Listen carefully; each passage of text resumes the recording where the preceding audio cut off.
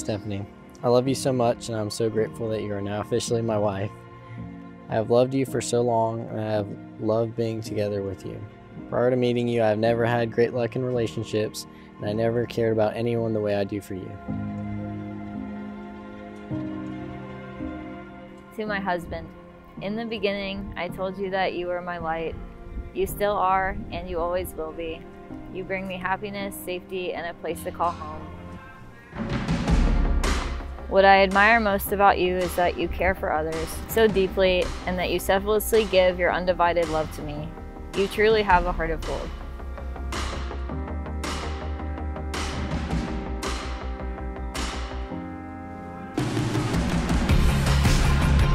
Oh my goodness.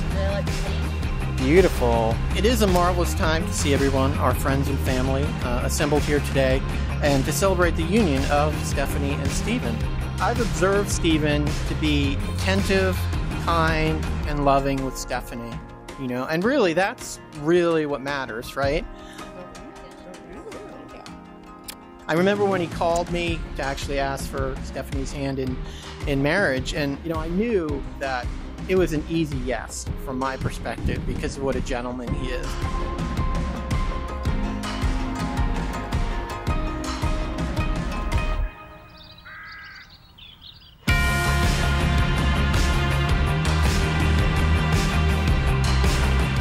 It is the duty of each of you to find your greatest joy in the company of the other. To remember that your love pledged today must remain undivided for a lifetime, and to love her with an unchanging love. If this is your intention, please declare, This is my promise. This is my promise.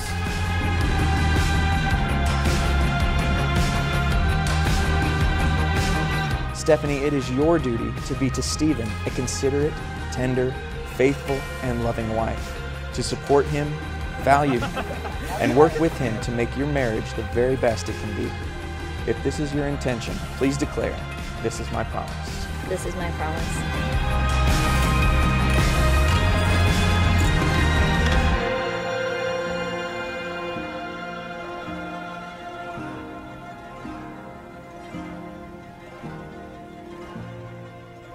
It's my privilege to announce you as man and wife. Steven, let me kiss your bride. Share your joys and your burdens. Love much and laugh much. Be each other's best friend. When things do not go well, forgive as is required. Okay? So, married life is an adventure together.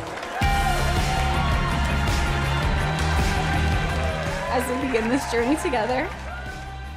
And I'm really grateful that my sister found such a kind and hardworking and respectful person like Steven.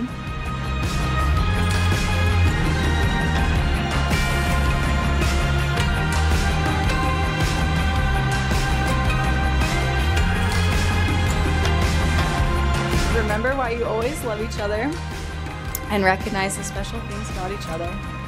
Remember to never go to bed angry at each other, to do special things for each other, and to always make time to work out together.